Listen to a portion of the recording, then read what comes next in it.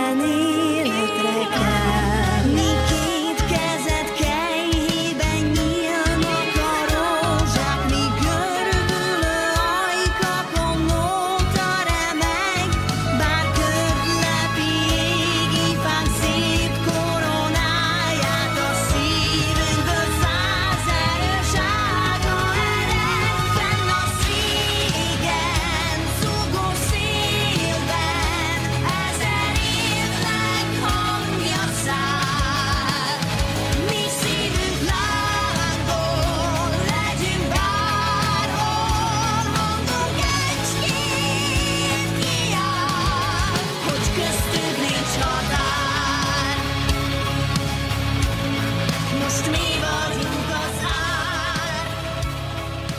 Vendégünk a stúdióban Janik Zsolt. Hello Zsolt! Sziasztok!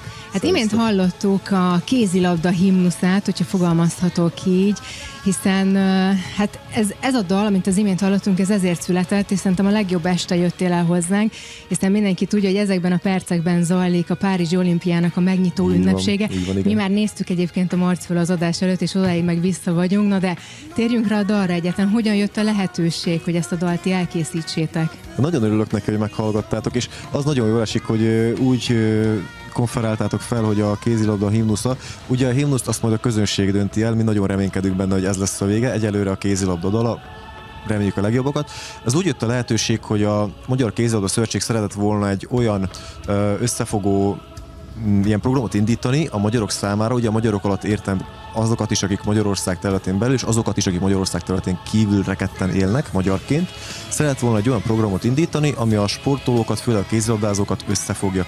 És ennek a programnak a keretén belül kellett egy dal, egy himnusz, ami ami szól mindenkinek, és buzdít, és van egy kis történelmi töltete, és van egy kis pozitív ilyen csengése is az egésznek, és isteni szerencsével mi ezt a pályázatot megnyertük a magyar kézilabdánál, Láttunk egy demót, mondták, hogy tök jó ebből szeretnének hallani egy kész verziót, és maga a dal igazából így került rá arra a pályára, hogy elkészülhessen. De én eléggé sok sport indulót ismerek, viszont azért ez nem mondható tényleg egy olyasfajta dolognak, mint amit kántálnak majd a nézők a lelátón szurkolás közben. Sokkal inkább egy kicsit magasztosabb lett, de mégsem kellett nagyon elrugaszkodotok a saját stílusotoktól. Olyan volt, mint hogy a tényleg egy saját dalotok lett volna. Miképpen gondolkodtatok, amikor ezt a dalt tulajdonképpen tényleg így egy kiírt pályázatra megírtátok? Mennyire akartatok új vizekre vezni, vagy mennyire hoztátok a saját stílusotokat? Én először nagyon megijedtem attól, hogy fognak mondani egy ilyen megkötést, hogy hogyan kell kinézni a dalnak. Tehát adnak egy vázat, adnak egy stílust, hogy pop, vagy rap, vagy bármi stílus legyen. És az volt a vicc, hogy amikor Jó ez... rap azért jó, jó, jó lett volna a csapatnak, nem?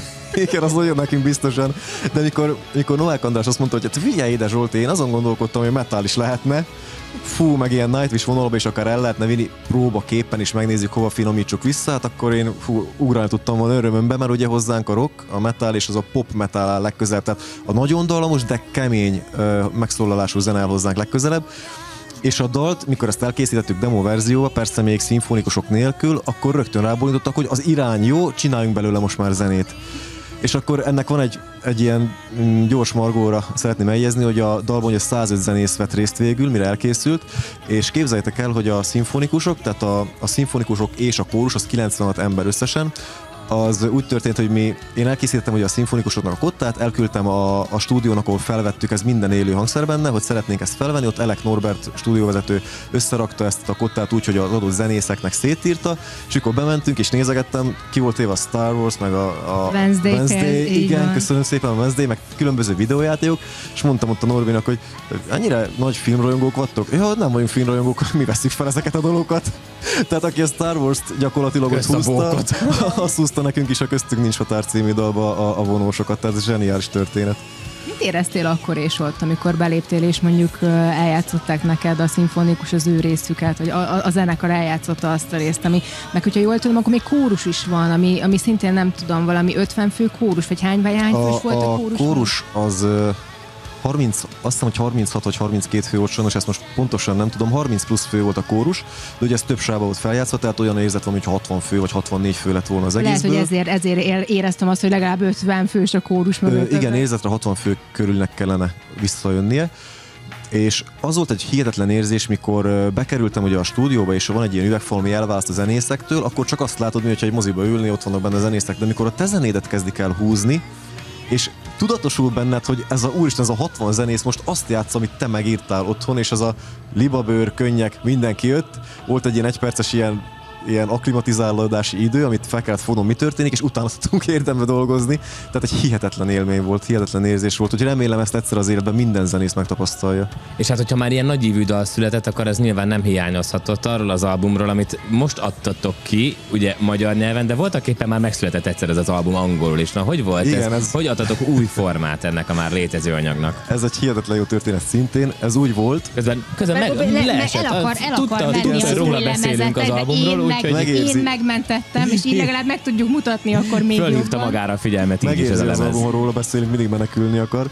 Ez is egy tök jó történet, úgy volt, hogy mi Freedom címen elkészítettük, Freedom címmel elkészítettük ezt az albumot angol nyelven, szerettük volna uh, Nyugat-Európa felé, illetve Észak-Európa felé ezt eljuttatni, csak hogy közben jött a köztünk nincs határ. És mi nagyon féltünk, pont tavaly voltam nálatok a, a tévében, és beszéltünk arról, hogy magyar nyelven nem szeretnénk dolgokat írni, mert Igen. félünk hozzányúlni a magyar nyelvhez, mert nem szeretnénk úgy hozzányúlni, hogy egy, egy langyos, szétfolyós szövegvilágot hozzunk létre, hanem ha nem tudunk ilyen petőfist magasságokig eljutni, akkor félünk tőle. Tehát nekünk nagyon nagyok nevek vannak a történelmünkben, akikhez azért jó Hát lenne. túlságosan tiszteltétek a magyar nyelvet, és ettől azért nyilván volt egy aggodalom. És az történt, mikor a köztünk nincs határa felkértek minket értelemszerűen csak magyarul történetet, meg ugye a dal megírása, akkor a zenekar két csajtagja, Flaskár Veroni és Zsigrai Klári, ők nekiugrottak annak, hogy megírják a köztünk nincs határ szövegét, és mikor én olvastam ezt a szöveget, és rájöttem arra, hogy úristen, mennyire irodalmian tudnak fogalmazni, hogy milyen potenciál van a csajokban,Ok a lányok akkor. igen, hihetetlen, hihetetlen potenciált éreztem bennük, akkor megnéztük, hogy mi van, ha lefordítják a dalokat.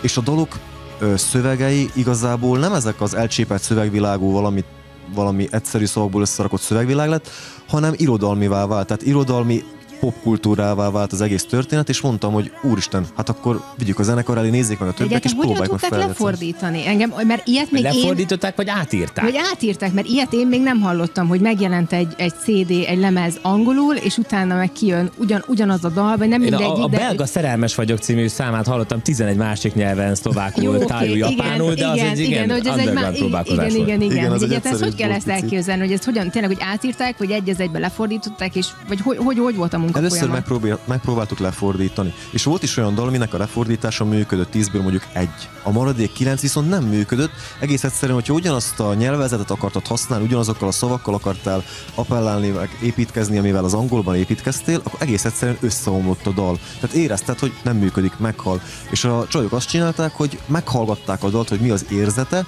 milyen gondolatot akarnak ők közölni, és nulláról elkezdték újraírni a szövegeket és gyakorlatilag az album címadó dal az álmokon át, az oké, okay, hogy angolban van egy olyan kicsit ilyen, ilyen melankolikus érzete, az egész világkép olyan az angol nyelv ö, előadásban, hogy kicsit minden ilyen szomorkás, a magyar nyelvű előadásban viszont sokkal személyesebb lett, mert személyesen, hogy hogy éli meg egy ember egy másik ember elvesztését, tehát hogy világ megmarad, de teljesen más szöveget kapott a, a történet.